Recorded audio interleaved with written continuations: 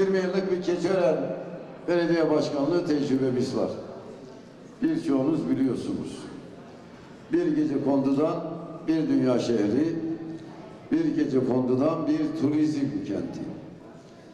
Bugün İstanbul'dan televizyoncular gelmişti. Bana dediler ki ya başkanım bir doğruyu söyleyelim. Keçiören'e gelirken acaba hani böyle gece kondular bekliyorduk. İstanbul'dan öyle gözüküyor demek ki. Ya dedi ki bu nasıl bir şehir, bu nasıl bir kent?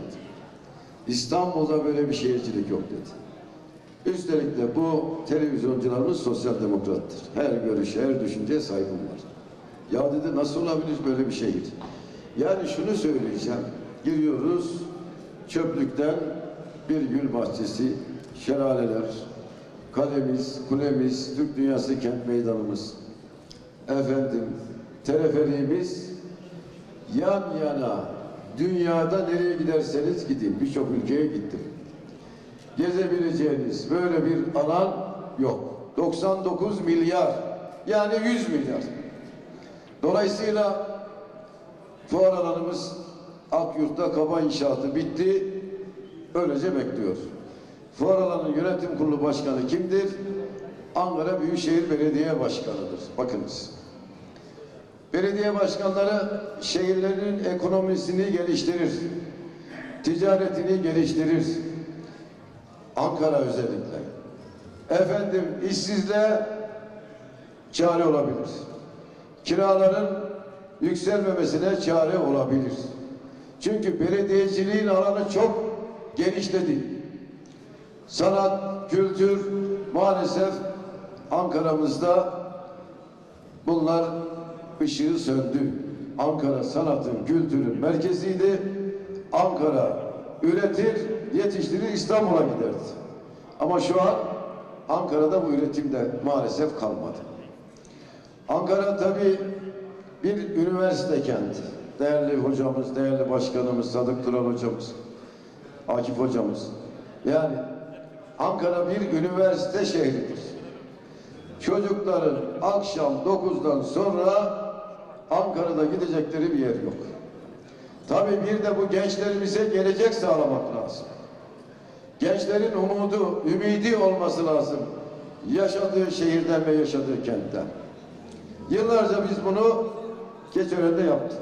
İlkokullarımız, ortaokullarımız, liselerimiz, üniversitelerimiz Keçiören'in sınırında veya değil bakmadan Ankara'daki bütün üniversitelerimize destek olduk.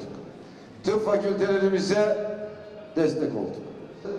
Bir deprem korkusundan dolayı birçok holding şirket fay hattı ve fay hattının yakınındaki fabrikalarını taşıma kararı aldı. Birinci öncelikleri neresi? Ankara. Niye? Havalimanı var. Niye? Efendim demir yolu var. Niye? Lojistik açıdan yolların kesiştiği bir merkez Ankara'mız. Efendim yani bunu yapar Ankara'nın ekonomisini ve aynı zamanda yan sektörleri geliştirir. Ankara'daki ticari hacmi artırır. Ankara'nın ihracatını artırır. Fuar alanı 2 milyar 100 milyon para lazım. ASO Başkanı'nın söylediği. Devede kulaktır. Ankara'ya en azından yılda 1 milyon yerli ve yabancı turist gelir. Gelen 1 milyon yerli yabancı şehre gelecek.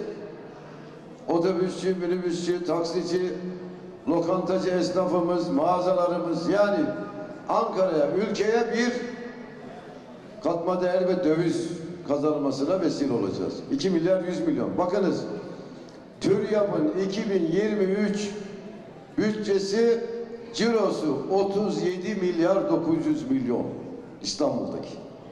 Burası daha büyük bir uluslararası fuar merkezi. İnşallah Allah nasip etti. Kırıkkale'li hemşerilerimiz 31 Mart'ta vekaleti, emaneti teslim ettiniz. Bir yılda fuar alanını gece gündüz demeden çalışacağız ve hizmet açacağız. Bir taraftan da maalesef çürüyen Anka Park var orada. Anka Parkı'nda Ankaraların hizmetine nasip et, Allah nasip ederse açacağız. Cumhuriyetimizin kalbi başkentimizi bir dünya başkenti yapacağız. Bize inanın, bize güvenin.